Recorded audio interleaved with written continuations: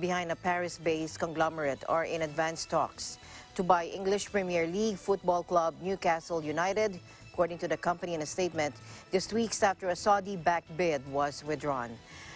Bellagraph Nova Group, which operates across 100 countries in fields ranging from finance to sport, healthcare and luxury goods, said it was given it has given Newcastle a letter of intent and proof it has funds for the purchase.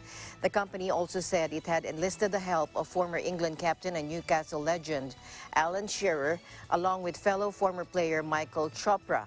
The bid was announced after a Saudi-backed consortium withdrew its offer to buy Newcastle in late July, after months of waiting for Premier League approval.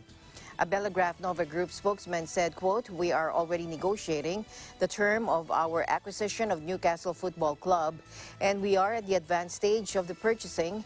Bellagraph Nova Group was co-founded by Singaporean cousins Nelson and Terence Loh and their business partner Evangeline Shen in 2008. The Straits Times newspaper said the Lohs are former investment bankers uh, at JP Morgan and are known to be keen sports fans who sponsored Singaporean racing driver Yuey Tan as well as the national Muay Thai team.